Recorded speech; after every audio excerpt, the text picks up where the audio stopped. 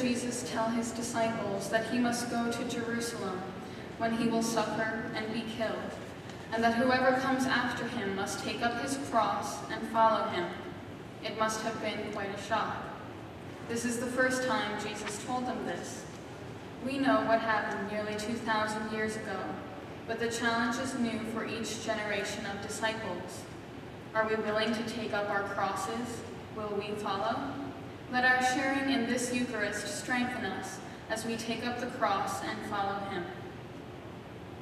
Please rise to greet our celebrant, Father Tobe, and join in singing our opening hymn, number 703, in your breaking bread, Lift High the Cross, number 703.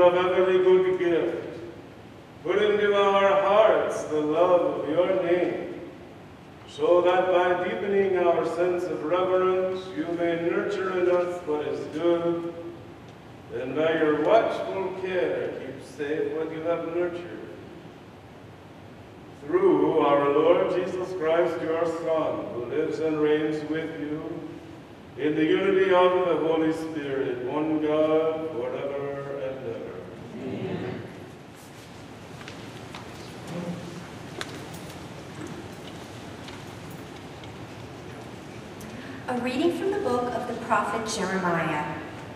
You duped me, O Lord, and I let myself be duped. You were too strong for me, and you triumphed.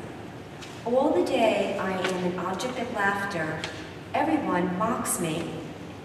Whenever I speak, I must cry out. Violence and outrage is my message. The word of the Lord has brought me derision and reproach all the day. I say to myself, I will not mention him. I will speak in his name no more. But then it becomes like a fire burning in my heart, imprisoned in my bones. I grow weary holding it in. I cannot endure it. The word of the Lord. My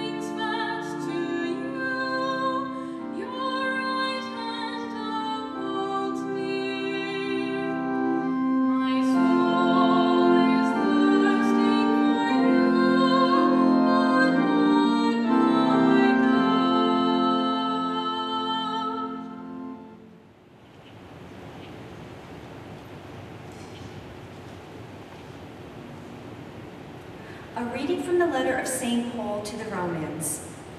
I urge you, brothers and sisters, by the mercies of God, to offer your bodies as a living sacrifice, holy and pleasing to God, your spiritual worship.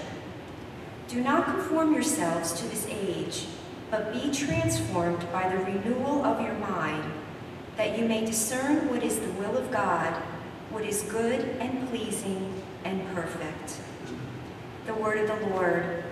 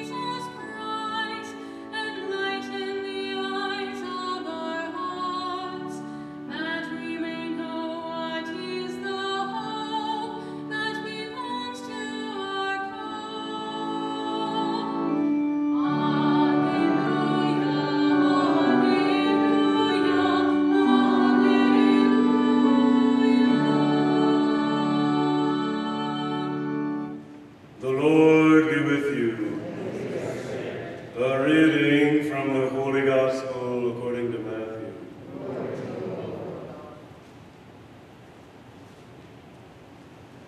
Jesus began to show his disciples that he must go to Jerusalem and suffer greatly from the elders, the chief priests, and the scribes, and be killed, and on the third day be raised. Then Peter took Jesus aside and began to rebuke him. God forbid, Lord, no such thing shall ever happen to you.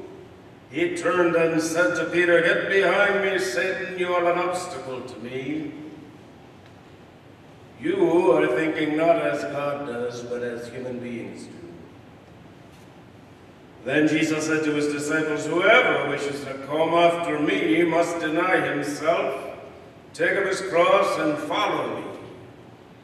For whoever wishes to save his life will lose it, but whoever loses his life for my sake will find it. What profit would there be for one to gain the whole world and forfeit his life? Or what can one give in exchange for his life? For the Son of Man will come with his angels in his Father's glory, and then he will repay all according to his conduct. The Gospel of the Lord.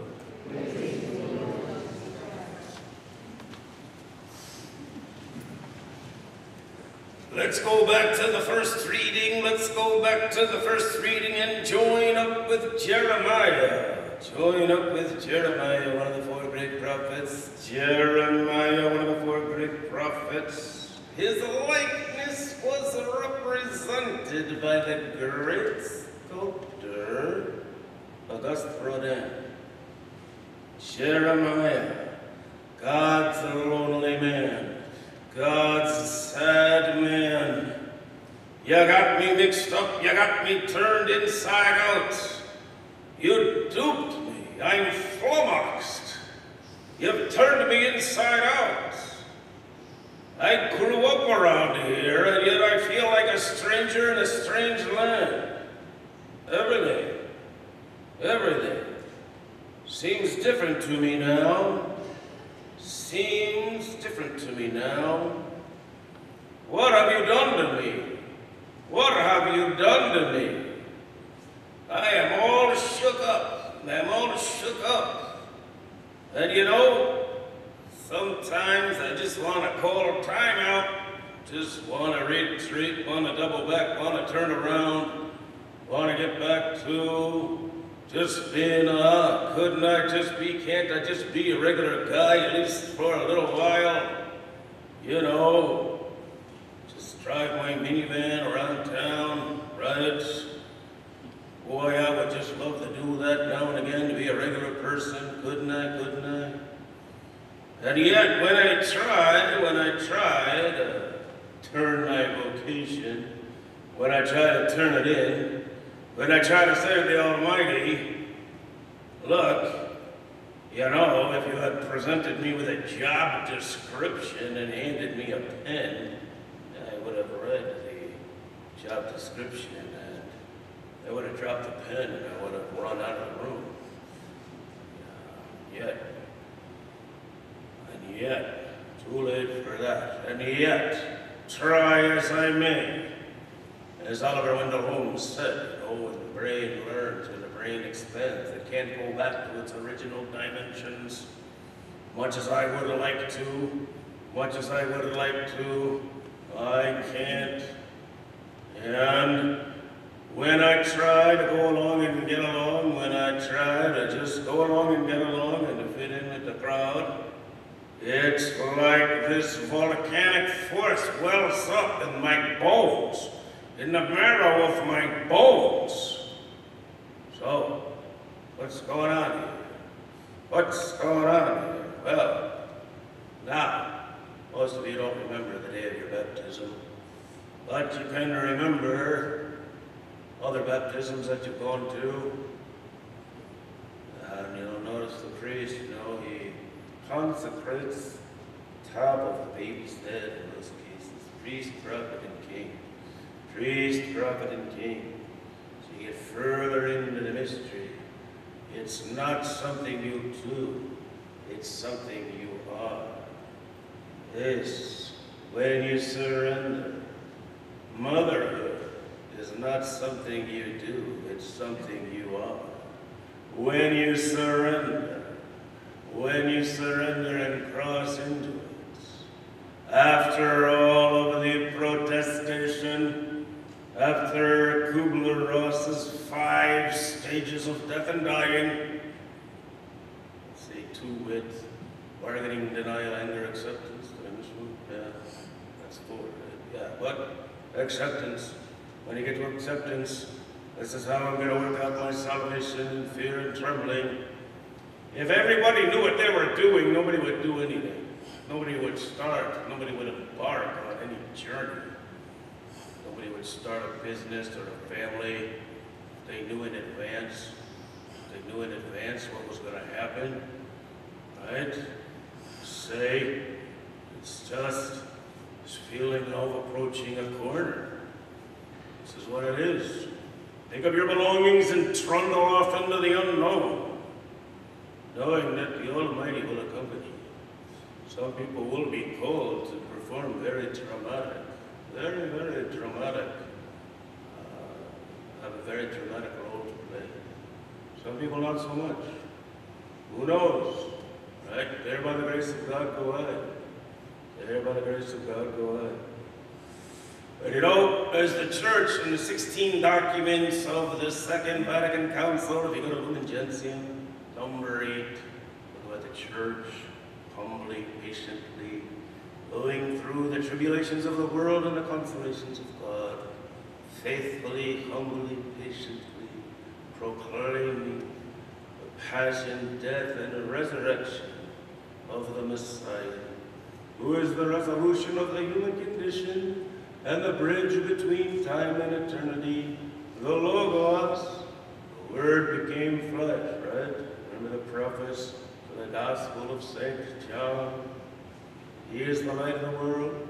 And so he accompanies us through life, which is often a dark valley. I don't know what's going to happen. I'm waiting for the results of a biopsy. I don't know what, what, I don't know. Even if they could hand me the results, I wouldn't know how to read them. The doctor has to tell me what I'm looking at. I don't know what I'm looking at. Right? I have to go through what I have to go through. Can't always, I can't always tell. And yet, he accompanies me. He accompanies me. He accompanies us.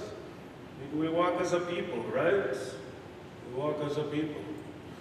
And then in the gospel today, in case you thought, now it's easy, the dominant paradigms in America, right, are politics, business, and sports, right? You know, mostly Americans, they talk about the weather, but they think about right? They talk about politics, business, or sports, kind of what it really is. You know, and all of those are binary, reductive. They're binary and they're reductive. And ahistorical, you know. And uh, this is the dominant paradigm.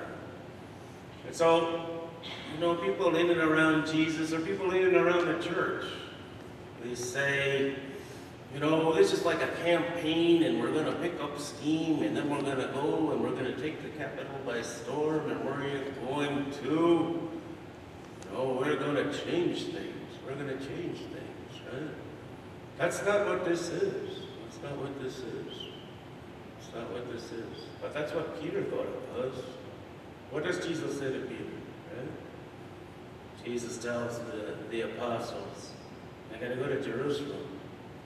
And this, everything as you know, this whole interesting ride that you've been on, that you've been jockeying for position, and all of this, trying to get access, trying to, uh, you know, imagine if they had selfies back then, right?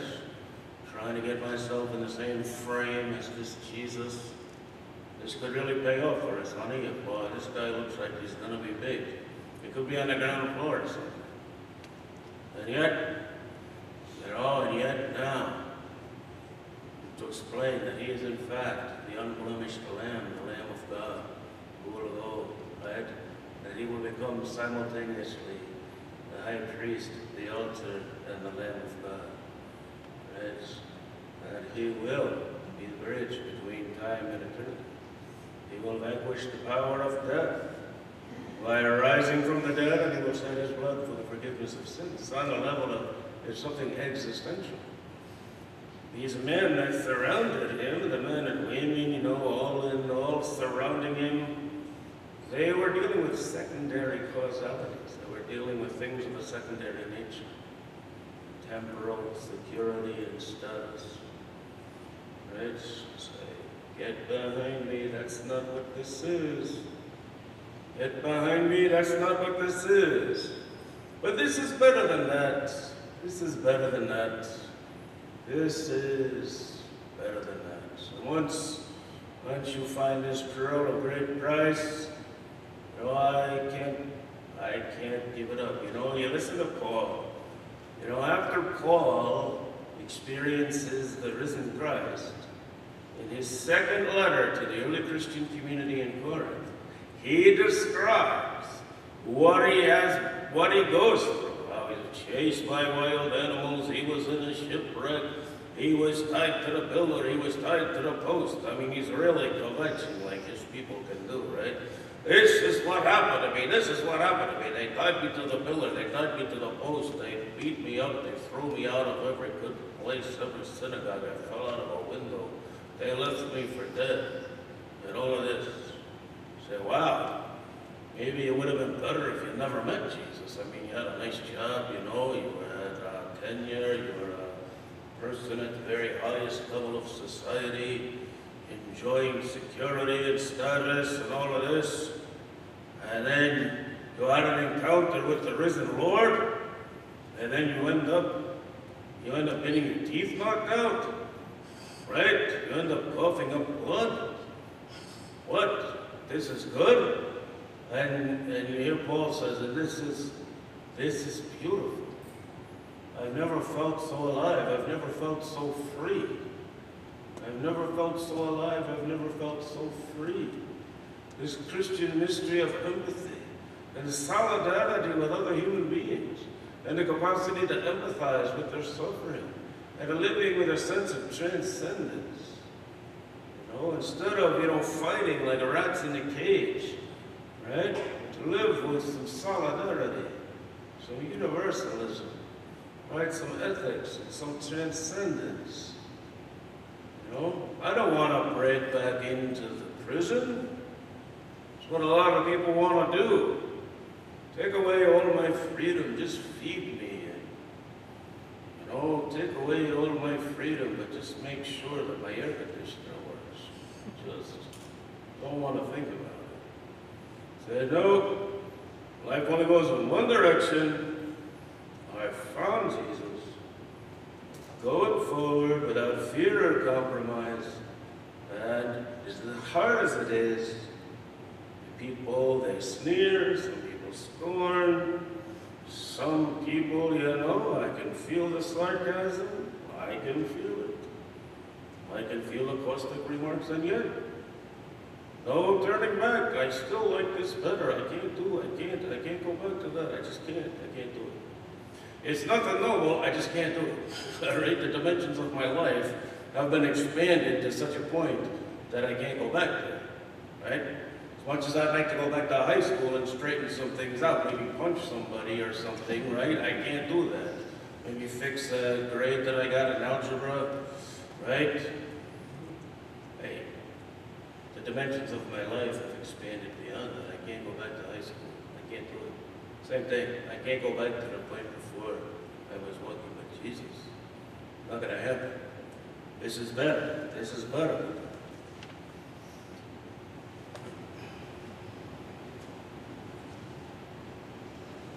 Let us stand and profess our faith.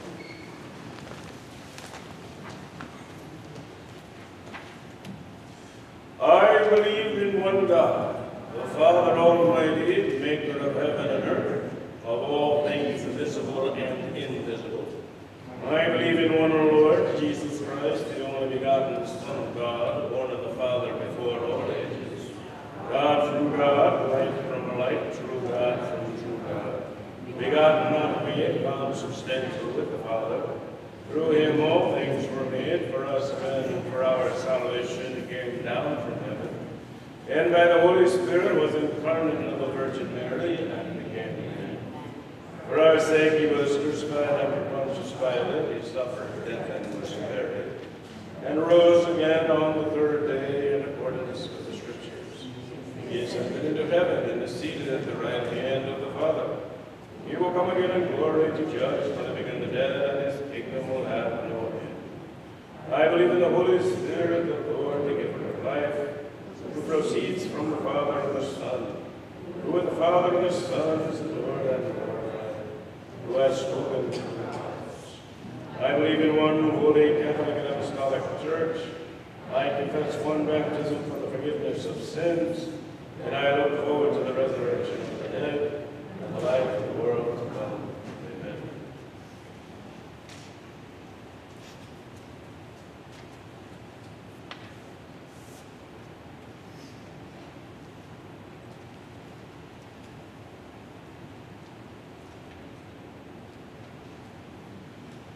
The Lord's kindness is a greater good than life. So we appeal to the Lord with our needs and needs of our sisters and brothers, trusting that the Lord will respond with kindness. Our response is Living Word, hear our prayer. For church leaders, that their words and actions may inspire each of us to take up our cross and follow Christ, let us pray to the Lord. For those who make the laws we live by, that they may listen to all who cry out for justice, for kindness, and for mercy, and consider their cries when crafting legislation, let us pray to the Lord. That we may value all of God's creation and resolve to care for it and sustain it for future generations, let us pray to the Lord. For victims of injustice, whether social, economic, or civil, that they may know the Lord's abiding presence in their lives, let us pray to the Lord. That all who are ill feel the abundant healing power of God, let us pray to the Lord. That Alfred Greco and all who have died may receive the reward of their faith in Jesus, let us pray to the Lord. Patricia and Mickey Cavallo, who will receive the benefits of this Mass, we pray to the Lord. For my little niece, whom I baptized 18 years ago, she cried the entire time. It Sounded like a circular saw cutting against uh, wood. But now she's going off to college, and I hope she doesn't do bad things with bad boys. We pray for this. Please watch over her and protect her. For this, let us pray to the Lord. Heavenly God, we call on you for help? As we shoulder the crosses we must carry, show us your kindness and mercy as we offer these prayers for all those carrying crosses through Christ our Lord.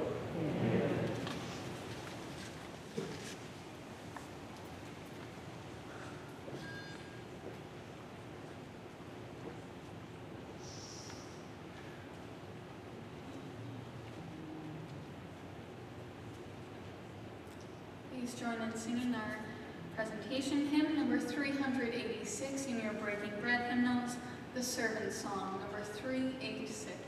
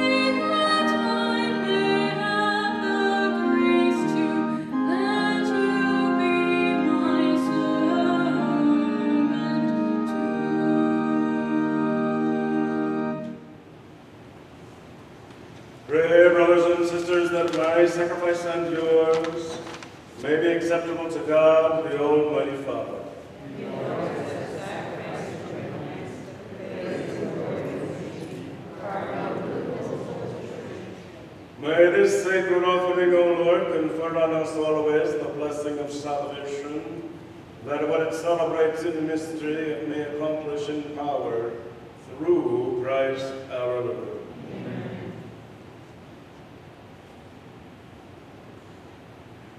The Lord be with you. Lift up your hearts. Let us give thanks to the Lord our God. It is truly right and just, our duty and our salvation, always and everywhere, to give you thanks, Lord, Holy Father, Almighty and eternal God, through Christ our Lord. For by his birth he brought renewal to humanity's fallen state, and by his suffering canceled out our sins.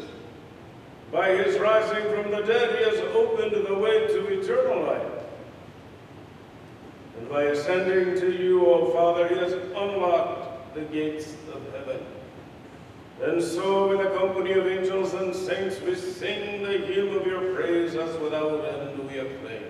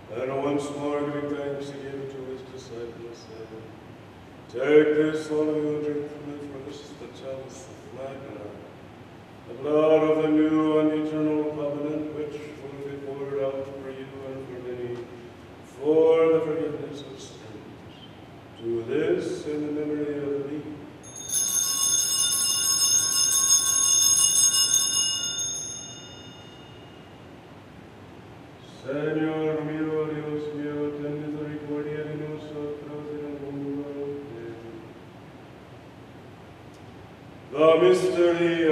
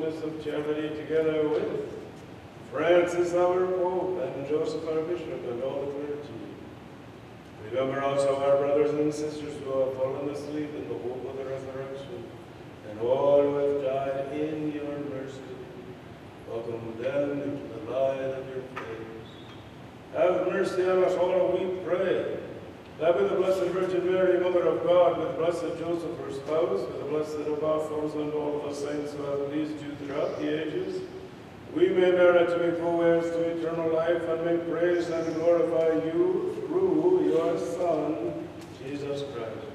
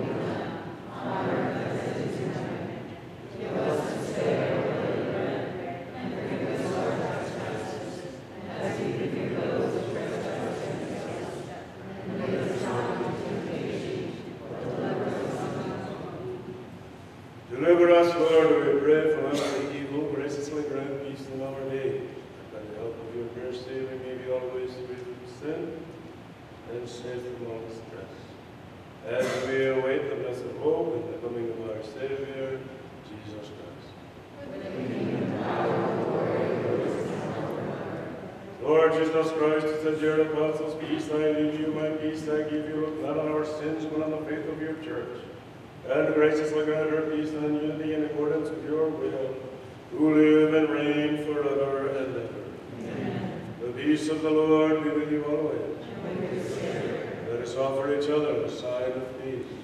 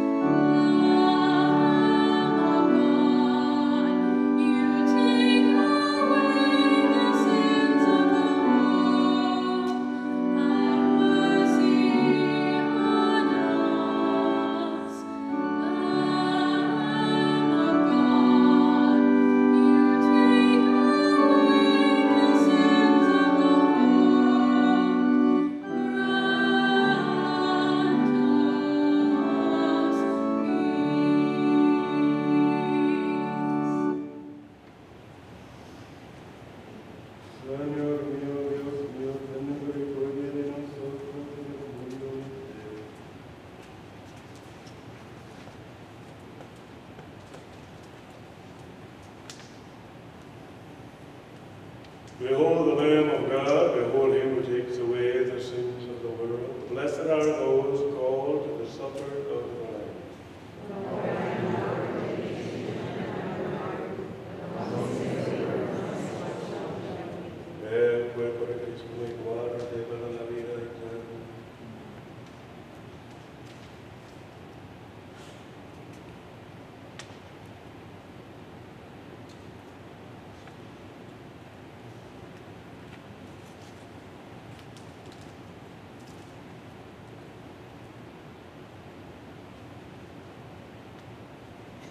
sung with a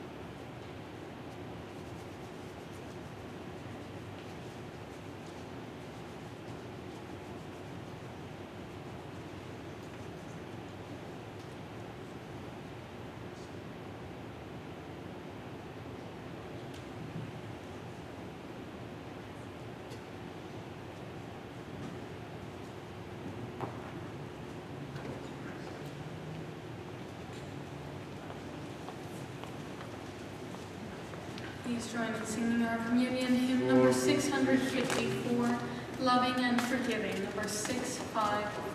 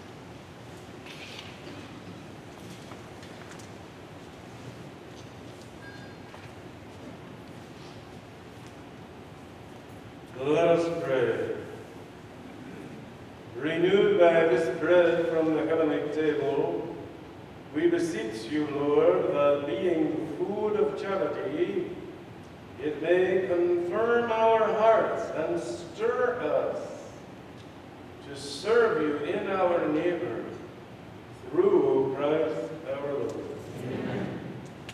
Are there any announcements? Okay, nothing's going on. Go to your room, close the door, and say the prayer. The Lord be with you. May Almighty God bless you, Father, Son, Holy Spirit. Mass is ended. Go in peace.